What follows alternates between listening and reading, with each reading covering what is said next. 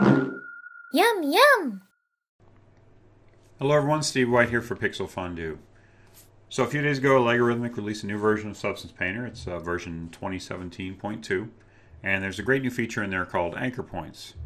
what anchor points are is they allow you to reference some of the uh, the high detail or, or you know uh, edgeware that you have put into your model and place that into like a new stamp that you put down.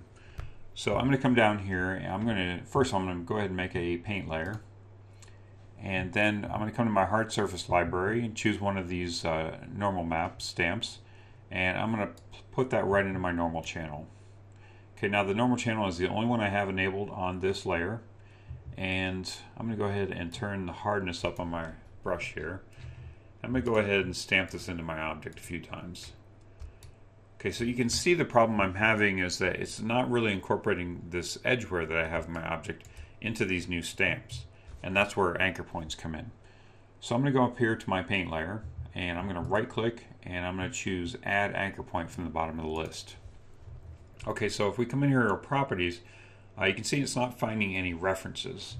Uh, so the reason for that is, is we're trying to reference this metal edgeware generator that we have on our paint layer uh, but it's it's above that layer so it can't see it essentially. So let's just go ahead and drag this paint layer to the bottom of our stack. And then from our metal edgeware, I'm going to come down here and for our, I'm going to go into micro details here. And for our micro details micro normal, I'm going to go ahead and turn that on.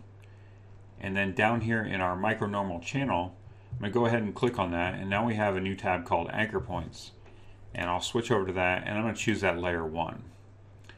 And now under that micronormal channel, there's a, uh, a box here called reference channel. I'm going to go ahead and turn that to normal. So now you can see that we're actually getting that edgeware into our object. So, and we we come up here and adjust our uh, our wear level, you know, on our, our generator, you can see it's taking that alpha into account. Okay, so uh, it's a little convoluted to set up, and you know, I guess uh, Wes over at uh, Allegorithmic said they're going to be streaming, streamlining that uh, process in the future. Uh, but there's another filter that you can use uh, to sort of achieve the same effect, and I'll show you that. So I'm going to go ahead and remove that uh, that paint layer that we added, and I'm going to go ahead and add a new one to the top. And I'm going to come in here again and go ahead and stamp that stamp down on our object again. And now, if we just choose this paint layer I'm going to go ahead and right click on this and I'm going to add a filter. And under our filter, if we go down here, uh, we're going to look for a filter called uh, Effects Detail Edgeware. And I'm going to choose that. Okay, now it's uh, it's actually below our edgeware, so this time we actually need to drag it above. So if we drag it up here to the top of the list, now you can see that we're getting that edgeware in our object. And for that uh, that detail edgeware, we can come in here and we can start uh, you know, increasing or you know, or making some settings to the amount of edgeware we have. Uh, the only problem with this filter, it's very easy to set up, but if we come into the edgeware of our actual object and we change the uh, the wear level, you can see that it's not really seeing that filter that we added. Uh, so uh, there's a little bit of a you know flexibility trade-off there.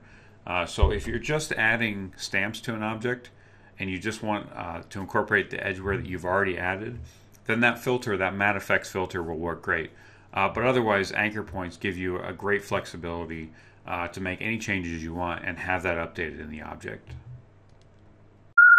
Yum, yum!